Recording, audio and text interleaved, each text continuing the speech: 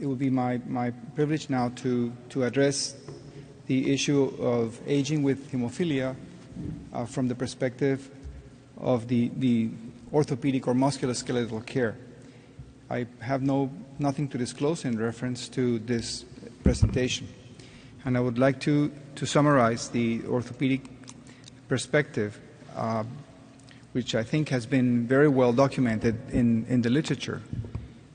And uh, I would like to uh, propose we address this paper by Siboni et al. from the Journal of Thrombosis and Hemostasis. And what you see in the graph is in, uh, in, in, empty blocks here in white, it's the, the prevalence of, of comorbidities in men aged 65 to 78 with and without hemophilia. So the empty blocks, the white blocks, will be without. And you can see when, when it comes to cardiovascular disease, there is a protective effect apparently in, in persons with hemophilia. The same is true for hypercholesterolemia. You can see there's a higher prevalence in, in men without hemophilia than in men with hemophilia. Now, strictly from the, from the musculoskeletal perspective, which is this bar that has been highlighted, you can see that the, the probability of having musculoskeletal disease is more than double in, in men with hemophilia in this age cohort than in men without hemophilia. Uh, I think this is something that does not come to a surprise for an auditorium like this, since all of us uh, have been working one way or the other to prevent musculoskeletal complications from appearing at all and also from appearing at an early age, trying to delay that appearance that in some situations is unavoidable. So here we can see clearly that there is a, at least a double of risk of musculoskeletal problems. In this paper by, by Dolan uh, in the Journal of Hemophilia, uh, he addressed the challenge of an aging hemophilic population. And he stated that there was joint deformity, muscle weakness, pain and difficulty with uh, mobility in general, and therefore there was an incre- increased risk of falls. Now, the increased risk of falls is a problem in all healthcare, not only in persons with hemophilia. It is a huge challenge. If you look at any accreditation agency around the world, it would be among the first five or six uh, elements of concern in any set of standards. Certainly, that is the case for Joint Commission here in, in the U.S. Now, on the underlying situation that is different in, in persons with hemophilia is the impaired proprioception. And I think this is the key message that I would like to, to transmit at this point. Uh, for those of you who are not familiar with the word proprioception, it has to do with the awareness of the position of one's body and this appears trivial, but it is at the essence of, of all musculoskeletal surgery, especially that that has to do with ligaments. Um, now, the good news is that proprioception can be retrained, and it also can be enhanced at any age, in any circumstance. And uh, the professionals from the physiotherapy and rehabilitation and sports medicine spend most of their time achieving this goal. And interestingly, sometimes the difference between a high performing athlete who goes back to being a high performance athlete and one that doesn't, it is not the surgery or the, the actual technical result, but the ability of that person to regain the proprioceptive skills that will allow them to perform at a certain speed in a certain combination of movements. So, this is behind the act of falling and it should be the center of our concern. And the last of the good news is that training for proprioception can be fun. You don't have to go to a hospital. You can go to a gym, you can do Pilates, you can do many other fun stuff. Maybe not Zumba like is going on in the convention center, even though the general appearance of the trainers is, I would say, very attractive in both genders. But uh, that's an option too. But it can be retrained, and this is very important, and this is what people who work in the musculoskeletal area look at when you talk about falls, they're thinking proprioception and equilibrium. there's been a, lot of discussion in this meeting about osteoporosis. And I think this, this is a, a great progress uh, because, of course, behind osteoporosis, there is an increased fracture risk. And this is something that concerns us all. From the point of view of, of uh, persons with hemophilia, there is literature to prove that hepatitis C virus and the infection with HIV also contribute to this lack of, of preservation or accumulation of bone density, therefore making these persons more susceptible to fractures if they fall.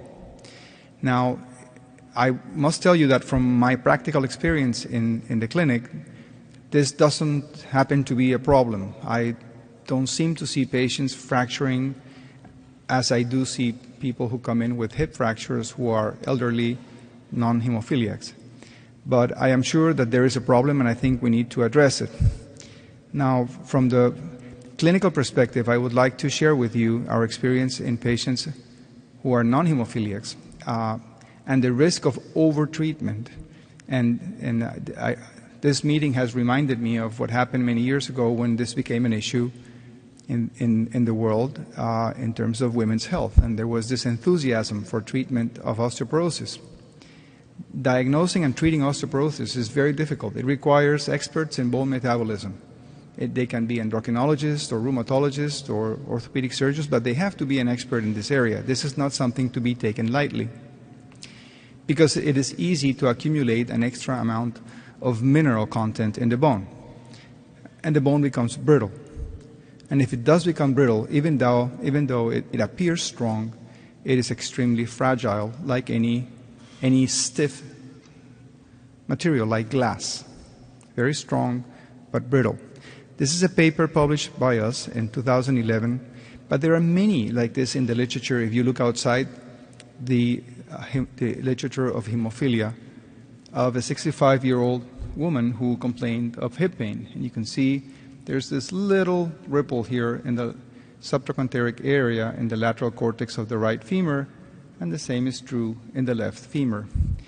And in this uh, scintigraphy over here, you can see an increase in the uptake of isotope on both subtrochanteric areas, which you can interpret as remodeling, inflammation, or maybe a stress fracture that is starting to occur because of the multiple cyclic, cyclic loading of the femur, which lead to fracture. And you can see this woman fractured spontaneously. This is the fracture of the proximal femur.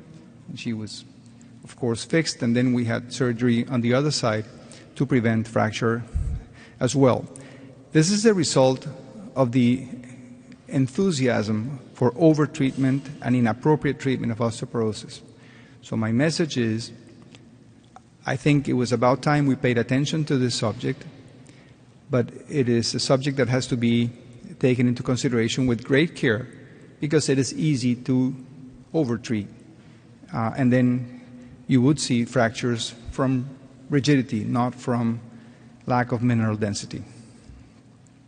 Now, back to the paper by Siboni et al., which essentially summarized all of the issues that had to do uh, with articular problems in patients with hemophilia as well. So they stated that when you compared to patients without hemophilia, once again, the white boxes, you can see that there is more joint instability, that there's there are flexion contractures in the joints of patients with hemophilia, whether that's not the case, that's not the case in the general population. There is impairment of range of motion. There is crepitus on both patients with and without hemophilia, and this is not very relevant, but, but you feel it as a patient and you're concerned, but it doesn't make much difference. There's axial deformity, it means angulations, muscular atrophy, joint swelling, and finally chronic, chronic synovitis. I'll give you some examples. But this, again, is no surprise to you. You've been coming to meetings with hemophilia, you've been seeing the, patient, the, the, your family members, or you've been, you've been studying the subject, and these problems have been around forever. I think the difference we are experiencing now is that we're starting to see these problems later. We used to see these problems in patients who were 20 years old. Now they come later because they have much better treatment in their early stages. So there are not many surprises in the musculoskeletal area in terms of aging. We're just seeing the same problems, but later, which I think is a very good thing. So this is an example of an elbow that is unstable because you can see that uh, olecranon has deepened itself in the trochlear groove of the humerus, therefore allowing slack in the collateral ligaments, and this will produce a swinging motion on the elbow when opposed to resistance, which is very inconvenient. This is a typical gesture on, uh, of a man with hemophilia who has a limited supination, and he would compensate bringing, bringing, bringing the elbow in to try to support a tray or shake the hand of a, of a friend of a, of a mate because of lack of rotation of the forearm. That's an example of impairment of range of motion. We, I think we have seen atrophy in all of its manifestations, uh, some due to inactivity, others due to severe bleeding within the muscles that scar down and won't allow that muscle to go back to its original volume. Uh, uh, this is not new. It, as I said before, it, it, is, it continues to happen. It just happens later. I think we see less axial deformity because it really takes a lot of destruction uh, to allow for axial destruction. And these, uh, or this, this type of uh, problems would require joint replacement or osteotomies, which again have been around forever. And finally, I think perhaps a, a, a, meeting like this is one of the places in, in the academic world where we address synovitis with greater frequency, and we, we, we know how to treat it. Uh, there are several ways of doing this, uh, uh at least five or six, and I think WFH has developed expertise and has communicated the expertise throughout the world about how to address synovitis. So you can see, even though I would have loved to surprise you with new problems, at least from the intellectual standpoint, it would be interesting. I think there are problems that we've been dealing with, and they're easy to, easier to deal with if they appear later in life. I would like to summarize, bringing up a few points. I think now more than ever, it is clear, it doesn't matter where you live, that investing in early prophylaxis will allow for the development of a musculoskeletal resource that would be of extraordinary value in future life. So there is no better place, there is no better return on investment than investing in early prophylaxis, exercise, and maintaining function at very, very, very early stages, months of age, one year, two years, very early on. There is no question from the musculoskeletal perspective that is the way to go. We also have literature to prove something that was hard to prove uh, before, and Randy, I think, can tell us about this. And there was a, a, formerly the belief that when a man with hemophilia was about 18 years old, skeletal was mature, and you could take this person off prophylaxis, and that was it. We know that that is not the case. There, there are some very uh, well designed studies in the literature over the last 10 years that prove that you do require prophylaxis throughout life, time, and if you do that, you will have better performance, less bleeding, greater joint survival, along with a much better quality of life. So, so the, the conversation does not stop at year uh, 18 years of age. The third point is that there are no surprises in the musculoskeletal lesions. They are less severe as the prophylaxis increases, and they appear later, and they're easier to treat if they appear later.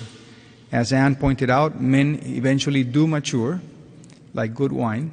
I take that home with me. And uh, then it's a, it's a whole different ballgame than trying to deal with an adolescent.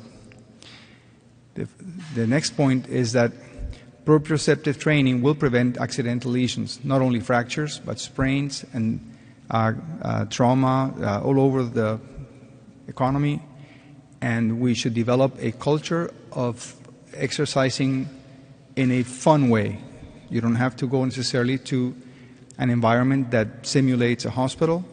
I think the most productive environments are those that are fun but are completely populated by professionals. So we, in my environment in Colombia, we see more and more physios and rehabilitation specialists working in external facilities to the hospital, in environments which are much more relaxed, but with the structure of their professional approach.